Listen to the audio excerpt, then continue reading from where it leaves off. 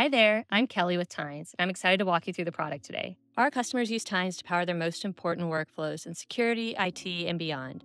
But Tines is so flexible, so here's a simple example of something I built. What I love about this workflow is you can see nearly all of our actions working together.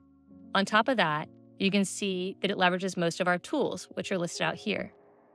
The story starts with a customer interaction via a page. From there, we're checking a lot of our backend systems using these other actions to ensure we have all the right information before enabling the trial.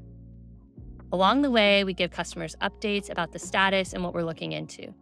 Once everything looks good on the back end, we notify our team via Slack. And then we let the customer know via intercom that their trial has started, as well as through this confirmation page. Now, to keep track of everything we've captured along the way, we're storing all this in records. This is great for reporting and analysis, and not to mention, it makes a lovely dashboard to share with our leadership. So, this was a very brief introduction, and there's so much more power for you to unlock. I encourage you to reach out and learn more from our team. Thanks so much.